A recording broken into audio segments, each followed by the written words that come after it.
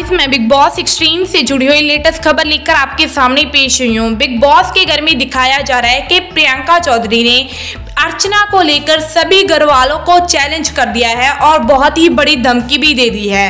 बात यह है कि जो शालीन बनोत है, वो अर्चना के साथ काफ़ी ज़्यादा अजीब से बातें कर रही हैं। वो प्रियंका चौधरी के सामने उनको बहुत ज़्यादा टारगेट कर रहे हैं और बहुत ही उनके साथ गलत वे में बात कर रही हैं। जैसे कि उनको काली ज़ुबान वाली ऐसे ऐसे वर्ड बोल रही हैं, जिसको सुनकर प्रियंका चौधरी काफ़ी ज़्यादा गुस्से में आ जाती है और काफ़ी ज़्यादा भड़क जाती है और वो शालीन को कहती है कि शालीन जी तुम्हारी ना काम यहाँ पर नहीं चलेगा। और मेरे सामने अगर तूने अर्चना को टारगेट किया ना तो तू देख लेना, तू अपनी खैर खुद मना लेना, क्योंकि मुझे अच्छा नहीं लगता कि अर्चना को कोई ऐसे टारगेट करे।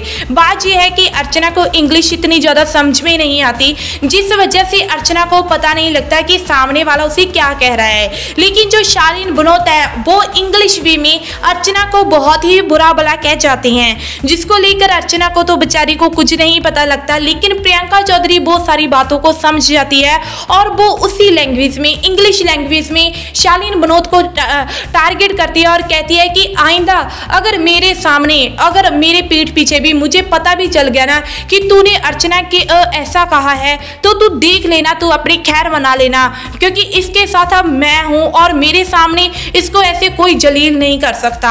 आई होप आपको भी प्रियंका चौधरी का ये ओपिनियन बहुत ही अच्छा लगा होगा कि अर्चना को कैसे इंग्लिश ना आने का फ़ायदा उठाकर उसे कैसे गलत दिखाया जा रहा है?